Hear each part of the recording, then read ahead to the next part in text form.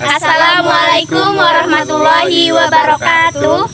Kami dari kelompok 1 sejarah kelas 11 MIA 2 ingin menyampaikan materi mengenai Aceh versus Portugis dan VOC. Latar belakang Aceh vs Portugis dan VOC. Rempah-rempah merupakan barang utama pada saat itu. Kedudukan Malaka yang sangat penting dalam perdagangan dunia menarik untuk bangsa asing untuk memperebutkan wilayah ini.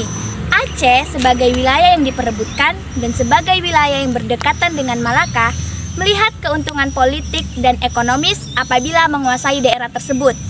Akan tetapi, upaya Aceh menguasai Malaka tidak mudah karena harus berhadapan dengan Portugis yang telah berkuasa di Malaka sejak tahun 1511. Portugis dianggap sebagai ancaman yang dapat menggagalkan cita-cita Aceh dan mengganggu kedaulatan Aceh.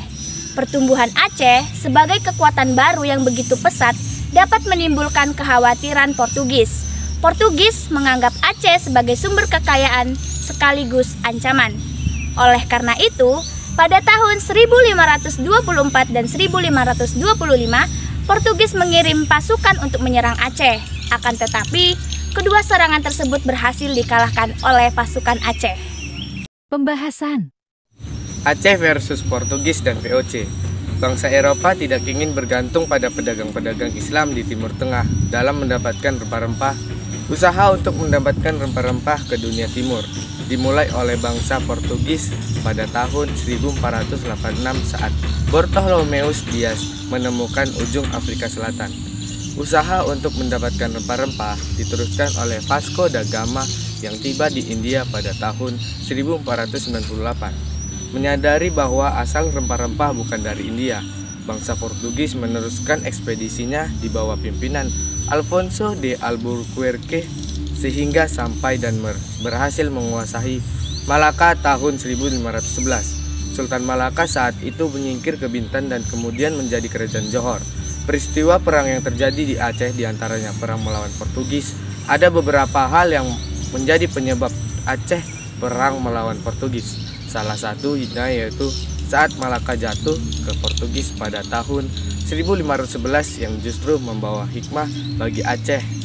Banyak pedagang Islam yang menyingkir dari Malaka ke Aceh. Dengan demikian perdagangan Aceh berkembang menjadi bandar dan pusat perdagangan perkembangan Aceh yang begitu pesat. Ini menimbulkan kekhawatiran pada Portugis.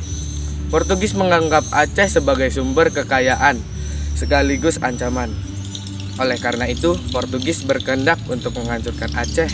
Portugis berupaya untuk melemahkan kekuatan Aceh dengan mengganggu di mana pun kapal-kapal dagang Aceh berada, seperti yang terjadi pada 1924 sampai 1525 saat kapal-kapal Aceh sedang berlayar di Laut Merah diburu oleh kapal-kapal Portugis untuk ditangkap.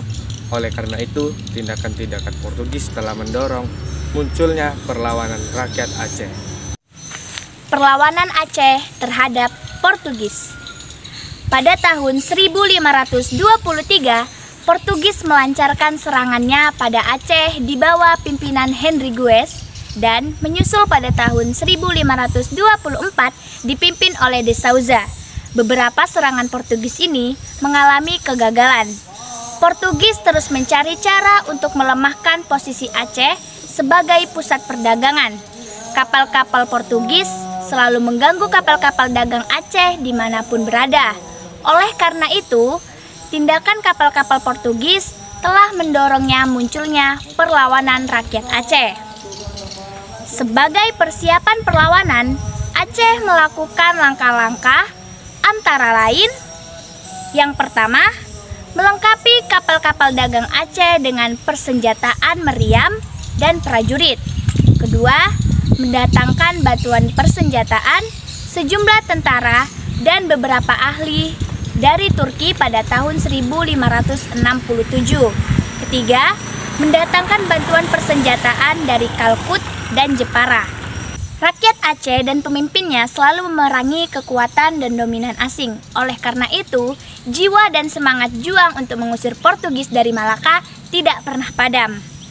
Pada masa pemerintahan Iskandar Muda 1639, semangat juang untuk mempertahankan tanah air dan mengusir penjajahan asing semakin meningkat. Iskandar Muda adalah raja yang gagah dan berani, serta bercita-cita untuk mengenyahkan penjajah asing, termasuk mengusir Portugis dari Malaka. Iskandar Muda berusaha untuk melipat gandakan pasukannya angkatan lautannya diperkuat dengan kapal-kapal besar yang dapat mengangkut 600 sampai 800 prajurit. Pasukan kavaleri dilengkapi dengan kuda-kuda dari Persia, bahkan Aceh juga menyiapkan pasukan gajah dan milisi infanteri. Pada tahun 1629, Iskandar Muda melancarkan serangan ke Melaka. Menghadapi serangan kali ini, Portugis sempat kewalahan Portugis harus mengerahkan semua kekuatan tentara dan persenjataannya untuk menghadapi pasukan Iskandar Muda. Namun, serangan Aceh kali ini juga tidak berhasil mengusir Portugis dari Malaka. Hubungan Aceh dan Portugis semakin memburuk. Bentrokan-bentrokan antara kedua belah pihak masih sering terjadi. Tetapi, Portugis tetap tidak berhasil menguasai Aceh dan begitu juga Aceh tidak berhasil mengusir Portugis. Yang berhasil mengusir Portugis dari Malaka adalah VOC pada tahun 1641. Perlawanan rakyat Aceh terhadap VOC Usaha VOC untuk berdagang dan menguasai pelabuhan-pelabuhan penting di Aceh tidak berhasil karena Sultan Iskandar Muda cukup tegas. Ia selalu mempersulit orang-orang barat untuk berdagang di wilayahnya. Ketika itu, Inggris dan Belanda meminta izin untuk berdagang di wilayah Aceh.